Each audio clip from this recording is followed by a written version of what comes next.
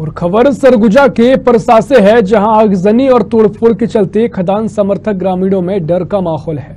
एक तरफ़ परसा खदान की मंजूरी के बाद आसपास के ग्रामीणों में खुशी की लहर है तो वहीं एक एनजीओ के द्वारा खदान का काम रोकने की कोशिश भी की जा रही है। दरअसल आगजनी की घटना से ग्रामीण अब दहशत में नज़र आए हैं। बता दें कि कुछ असामाजिक तत्वों को महिलाओं और बच्चों की आड़ में हथियारों के साथ परसा खदान क्षेत्र में घुसाया गया। इस आगजनी की घटना के बाद ज़िले के प्रशासनिक अधिकारियों द्वारा क्षेत्र का दौरा कर स्थिति को नियंत्रित करने की कोशिश की गई। साथ ही पुलिस प्रशासन घटना की जाँच में लगा है। वहीं स्थानीय लोग आशा करते हैं कि अब उनके क्षेत्र में शांति बनी रहे।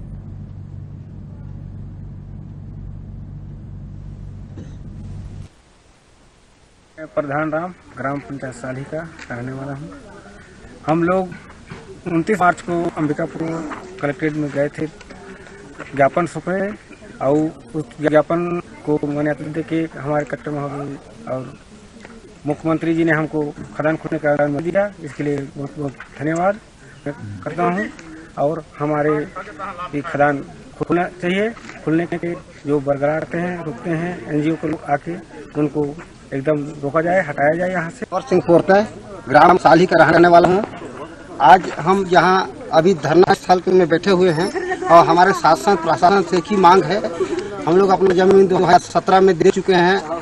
सेकंड ब्लॉक के लिए कुल ब्लॉक के लिए। और अब तक हम लोग बेरोजगार हाँ, अभी पड़े हुए हैं। तो हम लोग को शासन और हमारे माननीय मुख्यमंत्री से आग्रह है कि जितना जल्दी हो सके हम लोग को रोज़गार दें ताकि हम लोग का जो आवश्यक आवश्यकता हो पूरा हो। मेरा नाम जीतू दास है। सलका का रहने वाला हूँ।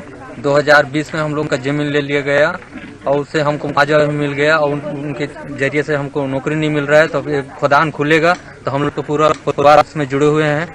मुख्यमंत्री जी से हमें निवेदन है कि हम लोग का काम चालू करें और सबको बेरोजगारी को रोज़गार दें। के विरोध में हरिहरपुर के गाँव वाले आ, आ, अपना प्रदर्शन किए हैं। इसमें कुछ कुछ आगजनी भी हो गई है। इसमें आगे कार्रवाई की जाएगी और यथा संभव इसमें एफआईआर और जो भी आगे कार्रवाई कानूनन है उसमें की जाएगी। तो इसमें सर प्रशासनिक चूक मानी जा सकती है जैसे आगजनी हुई और कोल खदान के विरोध में 200 लोग पहुँचे।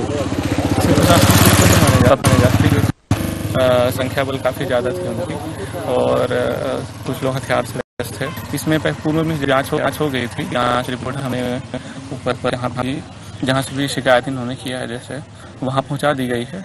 और उस रिपोर्ट के आधार पर ही आज निदान आएगा उस पर आगे कार्रवाई की जाएगी। आज ये जो यहाँ पर कोल माइंस है। उसको लेकर यहाँ पर विरोध प्रदर्शन हो रहा था।